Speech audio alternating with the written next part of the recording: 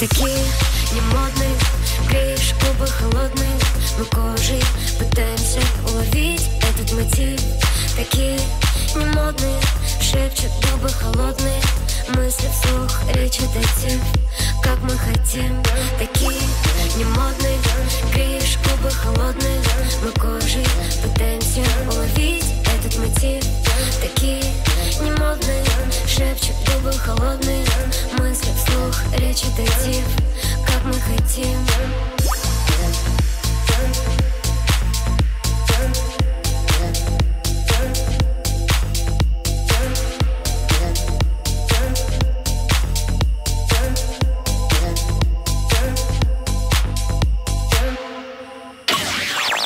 Вы слушаете Радио Сибирь. Ну не можем мы без музыки. Не можем мы без музыки.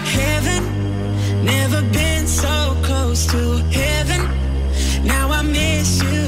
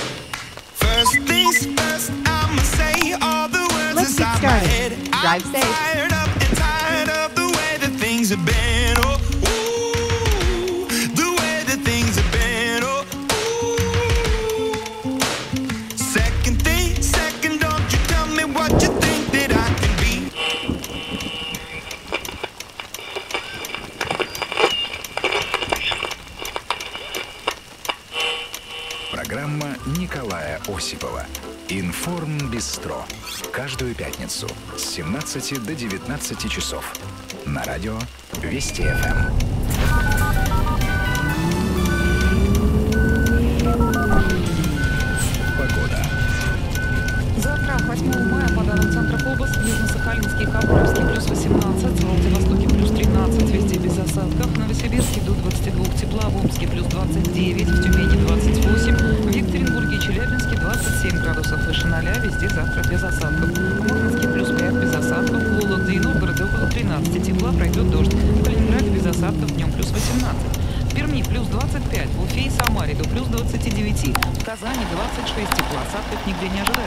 В Нижнем Новгороде плюс 20, кратковременный дождь.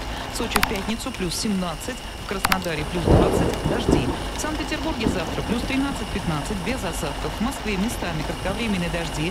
Ночью плюс 7, плюс 9, днем в столице 14-16 градусов тепла.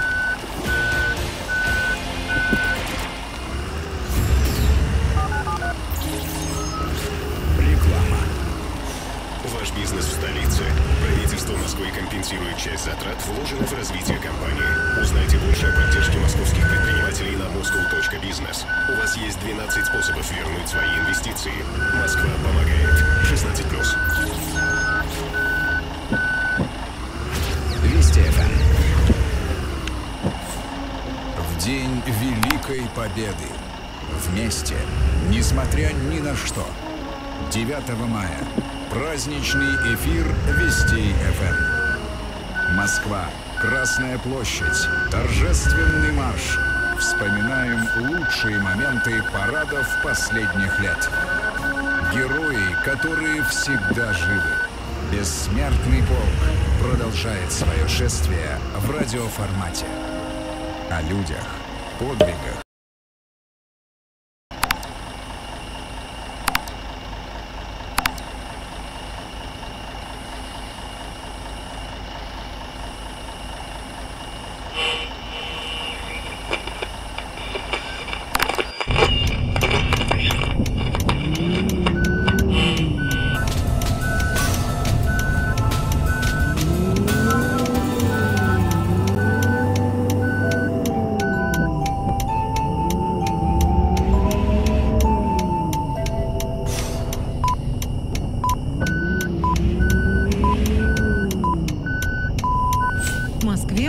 18 часов.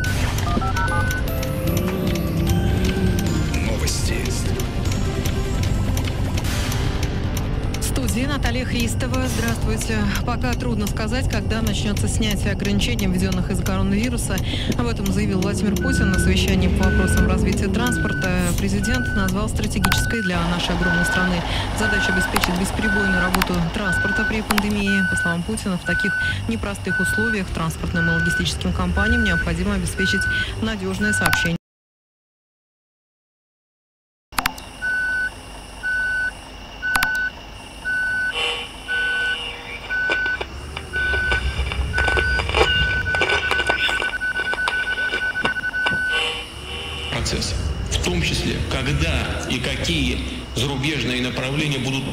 Доступны для поездок наших граждан. Это не от нас ведь только зависит, это зависит от того, как будут складываться дела и какие решения будут приниматься в других государствах. А это значит, нам нужно сформировать развитие внутреннего туризма, форсировать, точнее сказать, наши возможности на этом направлении. При участии, безусловно, транспортных компаний. Без этого вообще ничего невозможно сделать. Турагентств, гостиничного бизнеса. Нужно при помощи всех этих направлений формировать привлекательные маршруты, открывать новые направления в нашей стране, куда можно будет удобно добраться и с интересом для людей провести время. Глава государства подчеркнул, что транспортный потенциал обязательно будет востребован по мере выхода экономики на траекторию роста. Режим ограничений в Москве продлевается до 31 мая. Об этом говорится в указе мэра столицы Сергея Собянина. Ограничительные меры, введенные в связи с коронавирусом, до конца месяца запрещают работу большинства организаций, а также учреждений культуры, парков и каршеринга. Работу продолжат предприятия непрерывного цикла и жизненно важные для функционирования города, а также медицинские организации, органы власти, правоохранительные органы, банки, страховые компании, общественный транспорт, предприятия связи и СМИ. Кроме того, с 12 мая возобновят работу промышленные предприятия и стройки. Открывать рестораны, театры, спортивные сооружения пока рано, считает Собянин. Подчеркивается, что на предприятиях, работа которых будет разрешена, не должны появляться сотрудники с повышенной температурой, признаками ОРВИ. Все работники должны носить маски и перчатки. В рабочих помещениях необходимо соблюдать социальную дистанцию.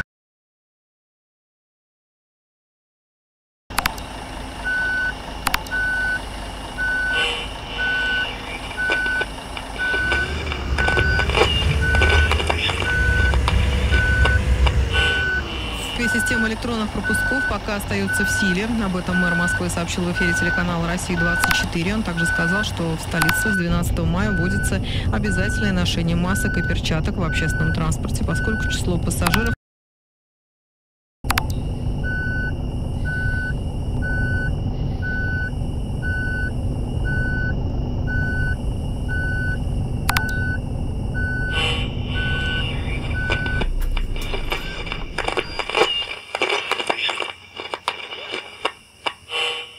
Когда проходит много людей, вот эти контакты, они чрезвычайно оп- опасны. Вопрос даже не о там, капиллярной передаче заболеваемости, а именно через поверхности. Поэтому все-таки руководствуясь э, предписаниями санитарных врачей, я с ними согласен абсолютно, это позволит избежать много неприятных случаев передачи вируса. Оформленные рабочие пропуска в Москве будут автоматически продлены до 31 мая. Спецпропуска для передвижения по столице можно будет получить два раза в неделю, а в медучреждении и волонтерам ежедневно. Срок действия проездных продлен до окончания срока самоизоляции. Продлить или обменять неиспользованные билеты на проезд в общественном транспорте можно будет после 31 мая. Мэр Москвы также призвал москвичей не приходить на салют 9 мая. По словам Собянина, в условиях коронавируса пролет самолетов и салют желательно смотреть со своих балконов или по телевизору. В любом варианте, даже в обычное время, э, когда не было самоизоляции, то реально визуально видели парад или пролет самолетов. Очень маленькое количество людей. Подавляющее количество российских граждан и москвичей, 90 с лишним процентов, видели это по телевидению. Поэтому и сегодня задача которую ставит перед собой Министерство обороны, организуя салют праздничный и пролет самолетов, она нацелена на то, чтобы с помощью телевидения показать это всей стране, при этом сохранив традицию таких мероприятий. Но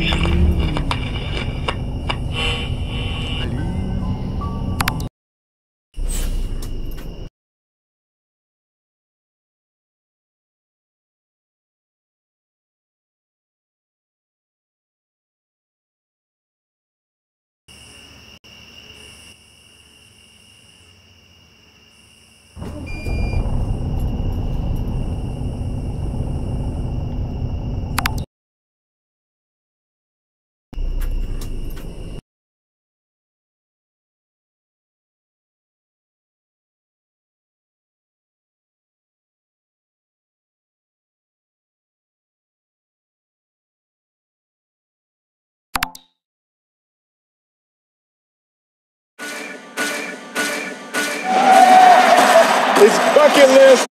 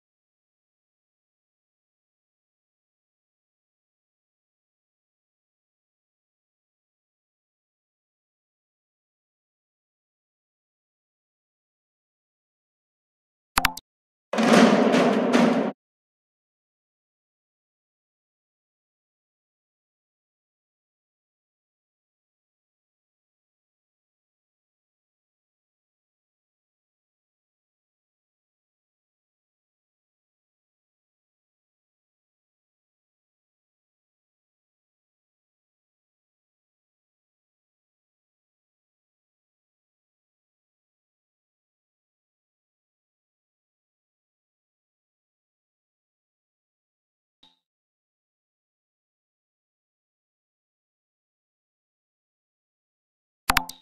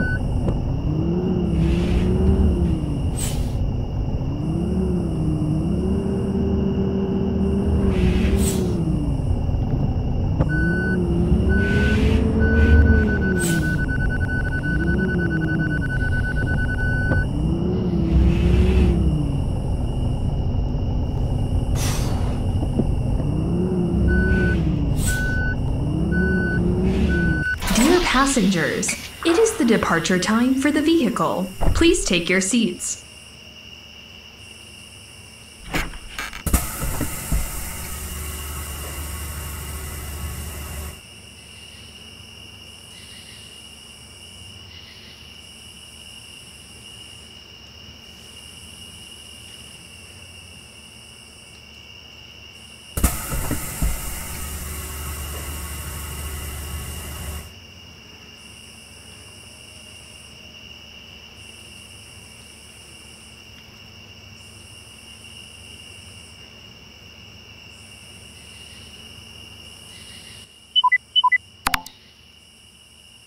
Let's get started. Drive safe.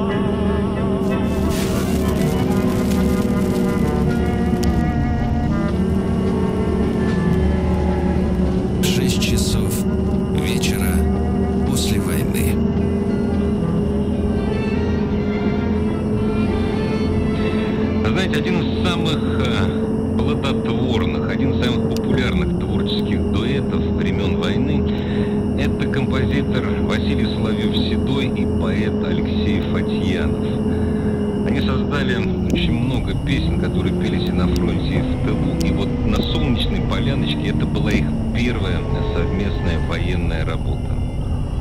Очень интересна судьба Алексея Ивановича Фатьянова. Christ, Christ, Christ, Christ, Christ,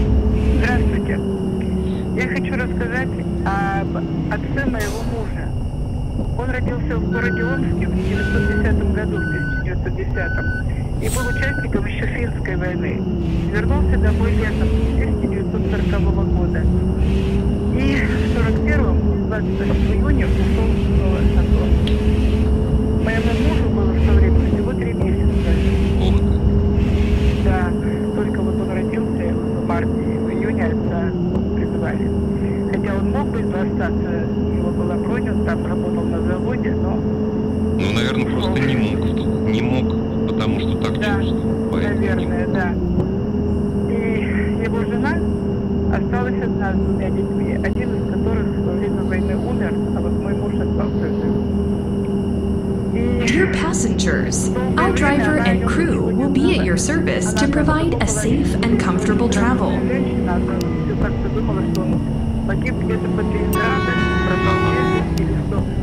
А письма не, дох- а письма не доходили, писем не было, да? А всего лишь 7-8 месяцев прошло с начала, как он ушел. Он погиб в феврале 42 года под Москвой. Вот. И она все время, вот сколько мы с мужем прожили, мы с ним уже прожили 50 лет, вот первые годы, вот как мы жили, она всегда говорила, что вот э, муж пропал без вести, мы тоже так и думали. Где-то под Ленинградом думали, ну раз там земля Dear passengers, our driver announced a 30 minute break. Please your seats at the end of your break. на его родину. И зашли в военкомат узнать об отце. Там же эта книга памяти сейчас уже есть, была. И нам сказали, что в этой книге памяти находится в библиотеке. Мы пошли туда. И в этой книге памяти мы узнали, что он погиб под Москвой в феврале 2005 в феврале 1942 года. Вот. И там он похоронен. Так, сейчас я, я читаю. Там, там было написано, место было Да, там- написано, где похоронен? То есть Да, написано. Ага. Написано сначала, что он был похоронен в деревне Ямы Московской области. А вот уже два года назад мой муж со своей дочерью, ну, с моей дочерью, там, ну, в общем, я не ездила, они с сыном, ну, с внуком уже, поехали в Московскую область, и оказывается, вот в этой деревне Ямы Dear passengers, our bus will continue its trip in five minutes. Please take your seats.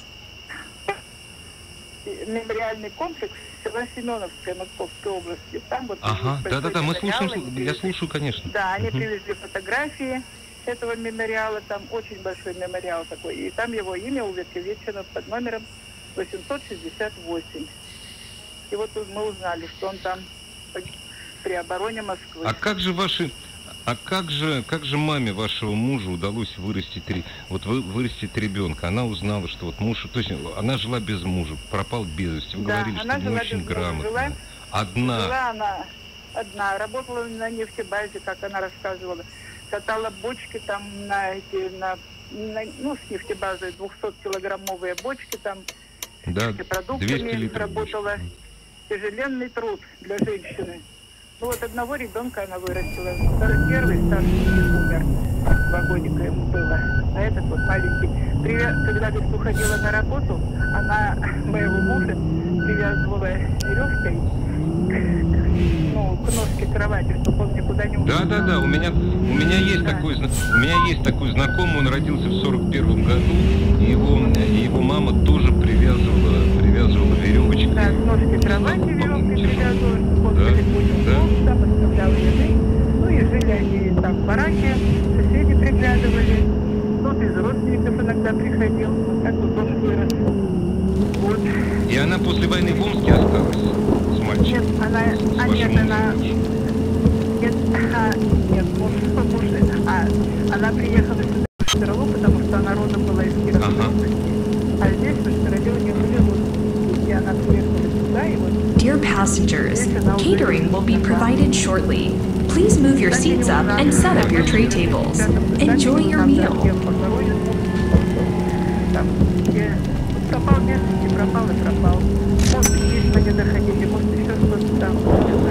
Ой, а сколько, а сколько таких еще лежит по полям в России? И не в России, не только в России, и за, и за пределами и России, и Советского Союза, она вообще часто вам рассказывала, она вам часто рассказывала а, про, ну, про тяжелую жизнь, наверное, своим детям мало рассказывала. Про тяжелую жизнь, знаете, я сейчас расскажу про тяжелую жизнь вот здесь у нас в Республике Мариэлна. Я вчера прочитала последняя газета, она местная. И вот сейчас я вам тут немножко зачитаю, даже так кратко. 22 июня 2012 года в Борисовском районе нашей республики Мариэл был поставлен памятник. И на нем сделан Путник, остановились. Здесь лежит торт. Черный хлеб войны. И вот я никогда не знала, нигде даже не слышала, что торф можно есть. Оказывается, во время войны здесь у нас было тоже холодно, уже республика Поволжье. И вот рассказывают люди, что они зимой через реку ездили там куда-то на торфоразработки, здесь торфяники, у нас здесь много болот, много озер, наша республика. И вот брали этот торф, его варили и ели. Вот даже говорят, что на Dear passengers, catering will be provided shortly. Please move your seats up and set up your tray tables. Enjoy your meal. того было немножко, может быть, когда-то молока добавляли, то вот питались этим торфом. Вот женщина пишет, что было четверо маленьких детей, на которых не выдавали паёк, а выдавали только на нее на одну, ну, кто на торфе. И вот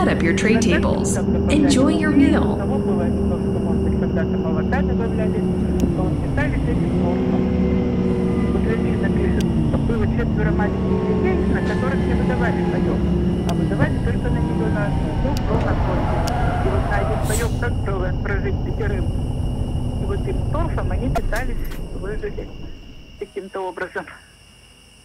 Вот. А вы, а вы рассказываете это своим внукам? Да, рассказываю. Иногда довольно строгим голосом. Мне даже сноха говорит, что я так строго с ними говорю. Ну, внукам-то уже, собственно, одному 9 и 11 лет девочке. Так что я хочу, чтобы до них это дошло. Старшие внуки там 30 и 23. Им-то уже не рассказываю. Они, наверное, сами, может быть, узнают. Может быть, нет. Да нет, вы знаете, вы рассказываете всей своей родне, всей, всем своим знакомым.